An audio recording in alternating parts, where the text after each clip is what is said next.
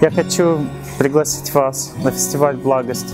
Это удивительное место, Черное море, Анапа, много светлых лиц, две недели счастливого отдыха, лекции, тренинги, йога, цигун, концерты, песни, театр.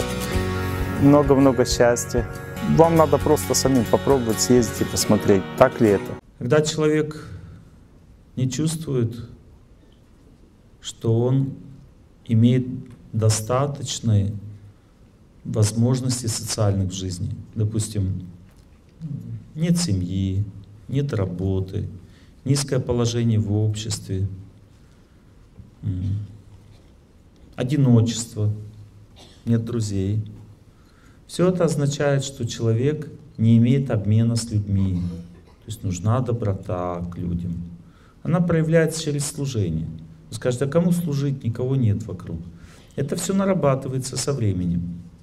Ну, то есть от начала нет никого, потом начала заботиться о людях. Они приклеиваются, начинают потихоньку. Чем больше человек заботится о людях, отдает людям, тем выше у него социальное положение, потому что социальное положение — это всего лишь людская энергия. Вот, допустим, бывает машина, у нее большой запас энергии, а бывает маленький. И маленький, она едет еле-еле, как бы. Нужно сделать большой запас. У человека возможности большие.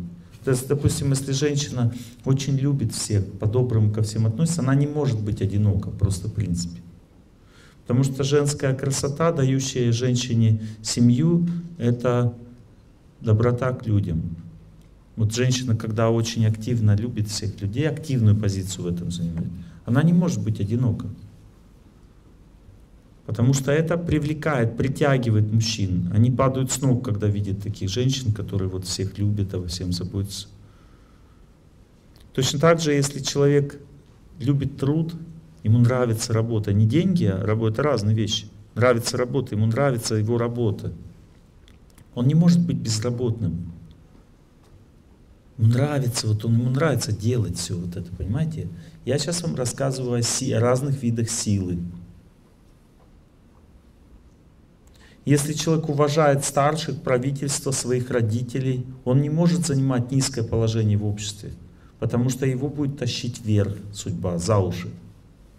Уважающий человек всех, его всегда продвигают вверх. Вот, допустим, взять просто цех обычный, да? И человек очень уважительно к начальству относится в цехе, там, к мастеру. Его сразу же будут поднимать. Почему? Потому что ну, как, ценный человек, надежный. Потом э, увидит уже Дальше начальник производства увидит, что вот такой есть хороший человек. Его дальше поднимает и так далее. Прошло пять лет, и он уже зам директора завода. Но люди не знают этих энергий всех. Они думают, надо больше работать для того, чтобы выше положение в обществе было. Нет, нужно просто учиться правильно относиться к людям. Допустим, если человек любит своего отца, то он таким образом получает высокий статус в обществе. А если любит мать, то он становится любимчиком людей, любимчиком людей. Вот мать, если любит человек, его люди любят. А если он отца любит, то он идет вверх. Отца или старших. Если женщина просто любит людей, не одиночка такая сидит, мечтает, мечтательная одиночка, это значит, никогда не выйдет замуж. А любит людей, постоянно всех заботится. Вот смотрите, знаки судьбы. Вот женщины все одинокие. Сейчас вам первый знак судьбы говорю. В тот момент, когда вы почувствуете, что вам и так уже хорошо, что вы всех любите, о всех заботитесь, и вам уже хорошо, и одной, в этот момент вы выйдете замуж. Это сто процентов. То есть вы так сильно заботитесь обо всем, что вам хорошо стало среди людей. В тот момент, когда вы почувствуете себя хорошо среди людей, ни один мужик вашу силу женскую выдержать не сможет. Вот когда вам хорошо среди людей, все. У вас энергетика начинает двигаться женская очень радостно, сильно и, как бы, и вам в это время никто уже не нужен, и это значит, что вы кому-то станете нужны. Потому что замуж выходит та девушка, которая, от которой мужчина зависит. Не которая зависит от мужчины, а от которой мужчина зависит. Когда ей хорошо очень жить, то ему будет хуже.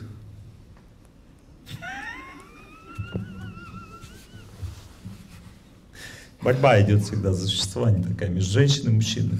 Женщина хорошо стала жить, мужчине хуже. Он, давай сюда, давай мне такую, мне. Хочет взять ее замуж. Она уже не сильно парится, она выбирает и этот хороший, и этот. Олег Геннадьевич, кого мне выбрать, она говорит. Мне другая проблема уже.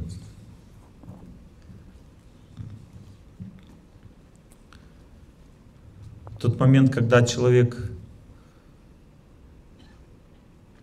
отдает себя служению старшим, забыл про себя, в этот момент старшие начнут его замечать и уважать. И они по блату начнут его поднимать вверх. Так всегда это бывает. Они будут его выше, выше положение в обществе у него будет. Просто он чисто не смотрит, какие там недостатки у старшего а я бы лучше руководил. Вот. А просто вот уважает старших и все. У него природная такая способность уважать старших. Или он развил себе эту способность. Все, его сразу замечают, вот это такой человек нам нужен. А вы бы себе кого взяли? Вот если вы, допустим, набираете людей, неужели бы вы не взяли все, которые вас уважают, подчиняется, верит в вас? Взяли бы такого человека себе? Приблизили бы к себе его? Конечно.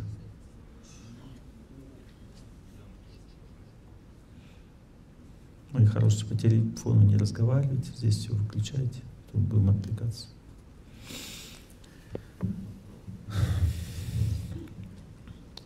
Видите, часто мы судьбой называем то, что судьбой не связано, а связано просто с безграмотностью. Когда человек не знает, как правильно жить, он просто думает, что у него плохая судьба. На самом деле он просто не знает, как правильно жить, и все. Так, точно так же, допустим, чувствуете непреодолимое препятствие какое-то, допустим, судебный процесс там, или еще что-то, там муж уходит из, из семьи. Явное, явный признак того, что судьба плохая. В это время человек не должен оценивать эту судьбу, понимаете? Чем больше человек впирается взглядом в судьбу, тем больше она его засасывает. Некоторые даже спать не могут, постоянно думают о том, что происходит. В это время нужно включиться в деятельность, побеждающую судьбу. Какая это деятельность? Если вы, допустим, неверующий человек, идите просто бегайте где-нибудь, дышите воздухом свежим, мать земля вам поможет. Человек должен отвлечься от судьбы, это самое первое, что дает победу. Если вы почувствуете, что вы успокоились где-то на свежем воздухе, вот у вас уходит близкий человек, а вы успокоились, несмотря на это. Это значит, что вы побеждаете судьбу. Это стопроцентный факт. Просто без всяких сомнений.